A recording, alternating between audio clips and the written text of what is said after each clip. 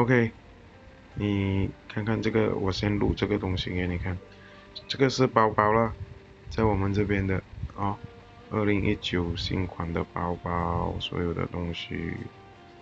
哦。把两家成功。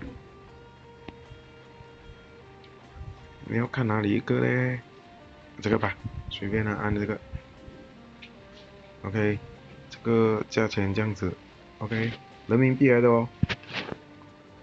按详情进去，你就可以看到这些图片，你都可以全部拿下来。你把图片拿下来，尺寸拿下来，放到你的店里面去，放到你的 Shopee 店里面去。OK，颜色那些放到去了，等顾客下单。顾客下单过后，你就把这个价钱，本钱价交给我们。打个比方，你在 Shopee 店你自己卖价，你卖这个东西是卖六十元，OK，多的就是你赚的咯。等你顾客下单了过后，六十元给了你了，你才去叫我们那边发货。你叫我们那边发货的话，你就要付本钱价咯，就是刚才那个二十二十五块是数量的咯，一百个咯，三个起批才二十七块咯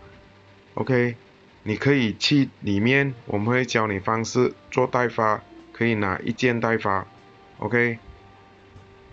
不同的价格，你一件代发也可以拿，OK，到时候你就付那个本钱价，来到马来西亚所有的东西，包括一些邮费啦，我们会直接帮你包了，寄到马来西亚，寄到客户手里，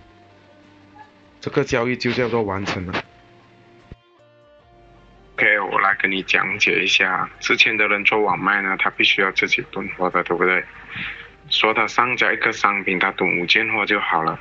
如果上架了五十个商品，是不是二百五十件货？这二百五十件货，如果他卖不出去，一定有资金压力。那你你在我们这边呢，用我们的一件代发来做的话，你不会有资金压力哦。因为你上架商品五十个、一百个、两百个商品，你都不需要掏钱出来的，你只需要把图片和图片规格放到你的店去，感觉上你的店是满满的货源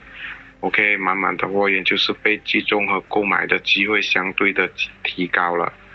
，OK，你开好了店，满满的货源，当你的客户按你的设定卖价跟你购买的时候。你才要求我们包货寄货到他的手中，所以我们会帮你包货寄货。OK，after 你的 customer place order 在你的店的时候我给钱付给你了，之后你才要求我们发货，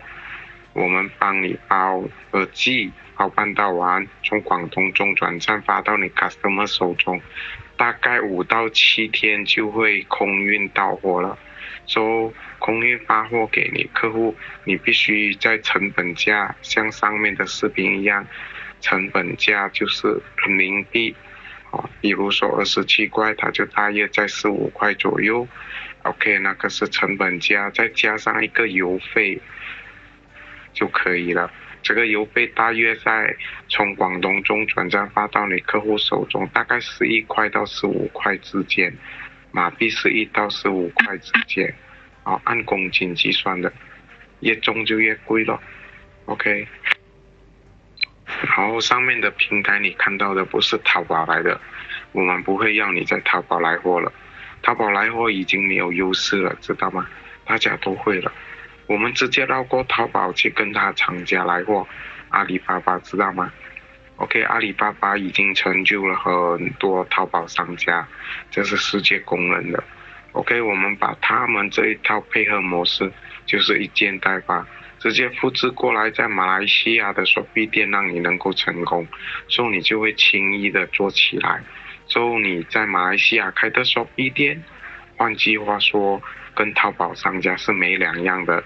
因为你们都来自于同一个厂家，这样会明白吗？所所以我说的上面的所有东西呢，都来自一个课程的，我们淘宝的导师过来教你们的，啊，就你先看，我知道，我再发课程部分给你参考，好不好？